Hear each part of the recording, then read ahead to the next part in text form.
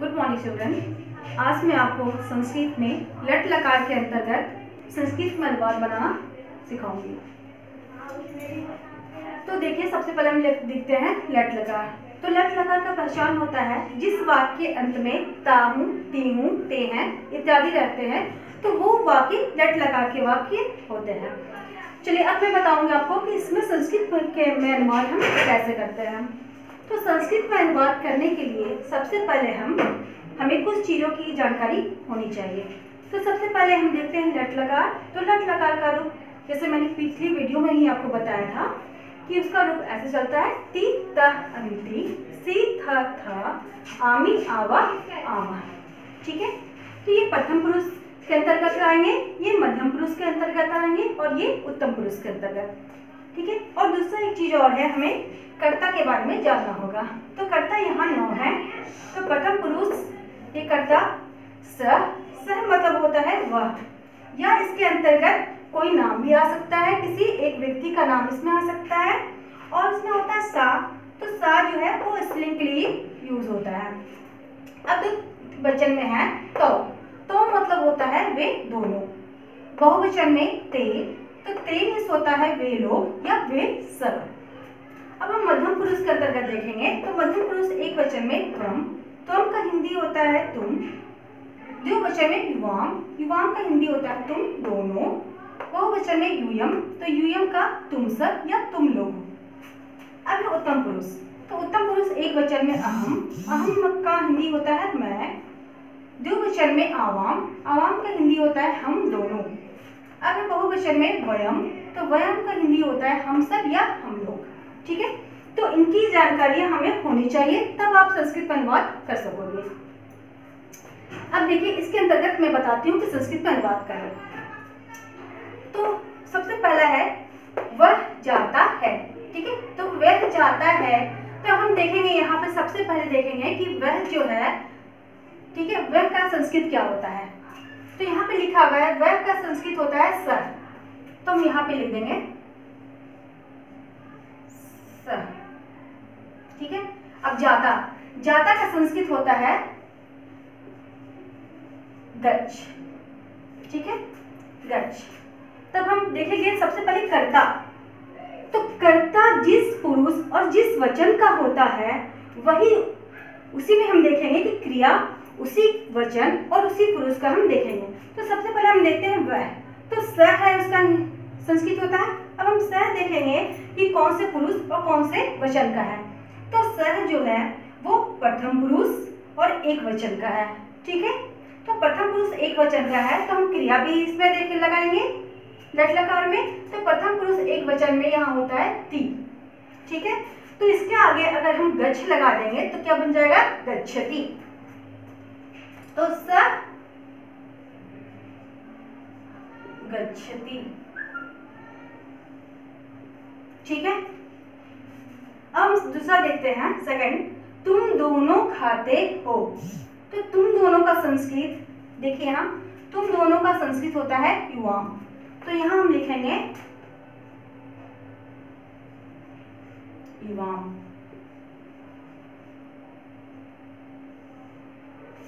ठीक है? अब हम ये देखेंगे कि तुम दोनों कौन से वचन और कौन से पुरुष में है। तो तुम दोनों मध्यम पुरुष और द्विवचन का है, ठीक है? मध्यम पुरुष, द्विवचन में युवाम है। तो इसमें भी हम देखेंगे मध्यम पुरुष, द्विवचन। तो द्विवचन में है थ। अब क्या है? खाने का संस्कृत होता है खाद। ठीक है? खाद। अब यहाँ लगा था के आगे हमें लगाना है खाद। तो क्या बन जाएगा? खाद था। ठीक है? तो युवाम,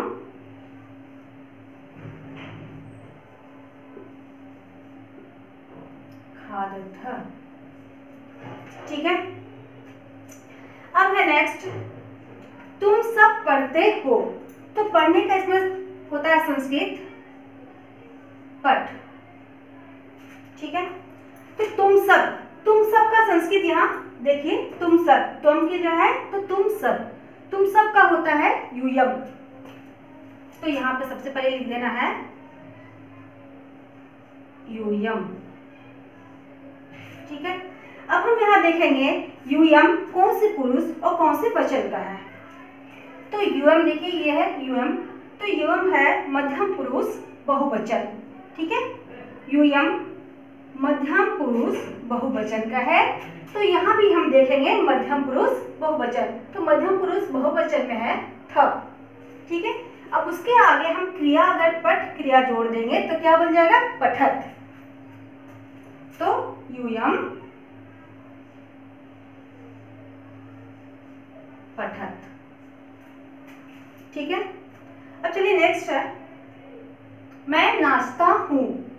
नाचने का संस्कृत होता है नृत्य। ठीक है?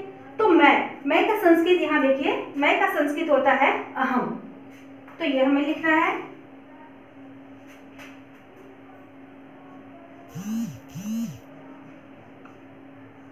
अहम। ठीक है? अब नाचने का है नृत्य। तो अहम हम देखेंगे। अहम जो है, वो पुरुष में है, उत्तम पुरुष। और वचन में है एक वचन। तो उत्तम पुरुष एक वचन में अहम है। तो हम यहाँ पे देखेंगे उत्तम पुरुष एक वचन। तो उत्तम पुरुष एक वचन में है आमी। ठीक है? तो आमी है और नाचने का संस्कृत होता है नृत्य। तो आमी में अगर हम नृत्य क्रिया जोड़ते हैं तो क्या बन जाता है? नृत्यामी। तो अहम नृत्य और आमी है तो आ की मात्रा और मी। बन गया नृत्यामी। क्लियर है? अब है, राम देखता है। तो राम का संस्कृत क्या होगा? जैसे कि मैंने यहाँ भी अभी आपको बताया कि प्रथम पुरुष एक वचन में सह होता है, यानी कि वह या सा सा हम लोग स्त्रीलिंग के लिए यूज़ करते हैं, या नाम। यानी किसी एक नाम के लिए हम लोग इसमें सा की जगह पे रखते हैं। तो अगर राम है होता है रामा। तो यहाँ लिखेंगे हम रामा। चूँकि राम एक पुल्लिंग है तो राम के शब्द में विसर्ग लगेगा। जैसा कि मैंने बताया था आपको पहले कि कोई भी पुल्लिंग शब्द होते हैं तो उसकी पहचान कैसे होती है? कि उसके अंत में विसर्ग होता है। तो इसमें राम का संस्कृत रामा हो गया। अब देखता है। तो देखने का संस्कृत होता है ठीक है? पश्य अब देखिए, राम किसमें होएगा? तो यहाँ पे है किसी एक नाम को मैंने बोला था तो वो किसके अंतर्गत आएगा? प्रथम पुरुष एक वचन। ठीक है? प्रथम पुरुष एक वचन। तो हम यहाँ भी देखेंगे, प्रथम पुरुष में एक वचन में क्या है? ती है। अब इसमें अगर हम पश्य जोड़ दें, पश्य क्रिया को ती में जोड़ दें तो क्या बन जाएगा? पश्यति।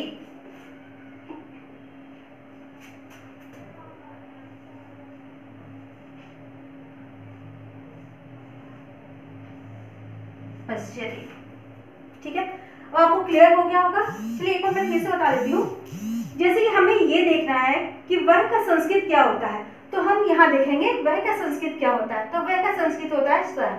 ठीक है? तो अब हम देखेंगे कि वह जो है, वो किस पुरुष में और किस वचन में है। तो यहाँ जैसे कि वह वह, सह तो सह जो है, प्रथम पुरुष में है और एक वचन का है। ठीक है? तो हम इसमें लट लकार में भी देखेंगे। प्रथम पुरुष एक वचन। तो प्रथम पुरुष एक वचन में यहाँ ती होता है। तो उसके आगे कोई भी क्रिया हम जोड़ देते हैं। जैसे अगर पढ़ना हुआ तो पढ़ने का संस्कृत होता है पठ। तो ती के आगे अगर हम पठ जोड़ दिए तो क्या बन जाएगा? पठती ठीक है? अगर वहाँ भी होता, जैसे कि यहाँ पे है, युवाम खादता। ये इसका है, तुम दोनों खाते हो। तो तुम दोनों, देखिए यहाँ पे तुम दोनों मध्यम पुरुष ठीक है, द्विवचन में है। तो यहाँ भी हम देखेंगे मध्यम पुरुष द्विवचन में थ होता है, ठीक है? तो यहाँ पे खाद अगर हम जोड़ देंगे तो क्या बन जाएगा? खाद था यहाँ पे खाद जोड़ने से क्या बन जाएगा? खाद था तो यहाँ हो जाएगा युवाम खाद था ठीक है? अब आप लोगों ने ये समझ लिया होगा, समझ लिया होंगे आप लोग, ठीक है? कि किस तरह से हम यहाँ पे संस्कृत में अनुवाद कर सकते हैं। बस हमें ये देखना है, लट लगा का रूप हमें याद करना है और कर्ता हमें याद करना है। तो ये देखेंगे हम कि कर्ता जिस भी पुरुष और जिस वचन का होता है तो क्रिया भी हम उसी पुरुष और उसी वचन का हम लेते हैं। तो ये अगर आप लोग याद कर लोगे तो आप लोग इजिली आप लोग संस्कृत अनुवाद कर सकते हो। ठीक है बच्चों? Okay thank you